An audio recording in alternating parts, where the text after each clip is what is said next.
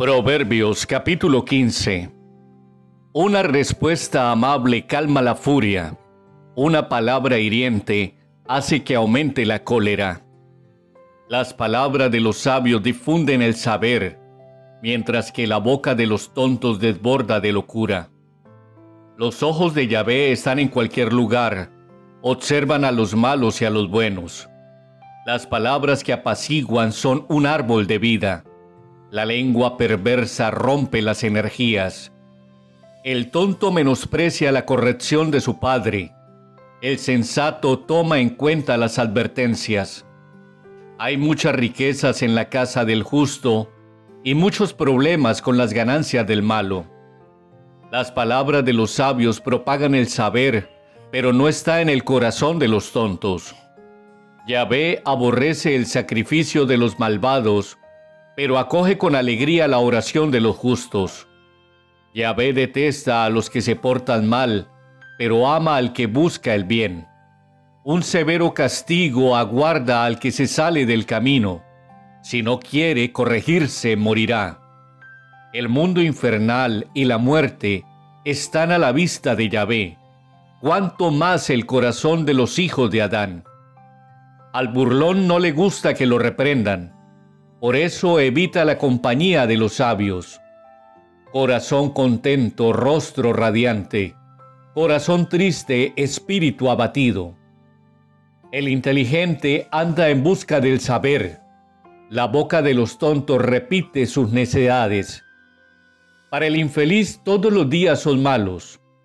El que tiene alegre el corazón está siempre de fiesta. Más vale tener poco y temer a Yahvé que guardar tesoros y no tener paz. Un mejor plato de legumbres con cariño que un buey gordo con discordia.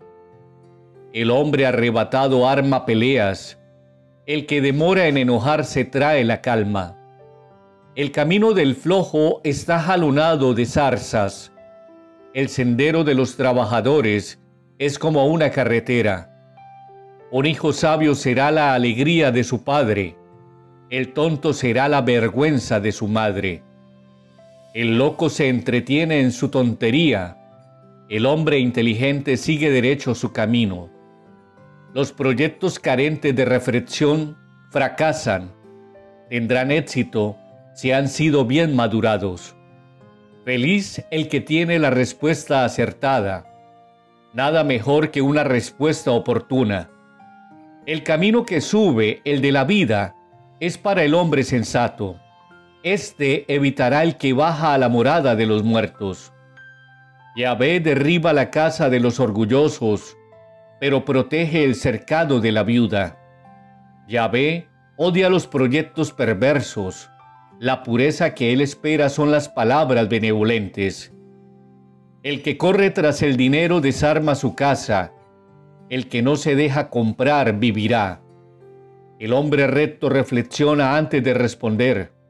La maldad sale por sí sola de la boca de los malos. Yahvé se mantiene alejado de los malos, pero atiende a la oración de los justos. Una mirada benevolente alegra el corazón. Una buena noticia reanima las fuerzas. El que pone atención en los consejos saludables tendrá su lugar entre los sabios. El que desprecia la corrección se perjudica a sí mismo. El que escucha los consejos forma su conciencia. El temor de Yahvé es la escuela de la sabiduría.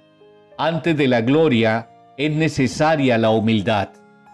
Amén.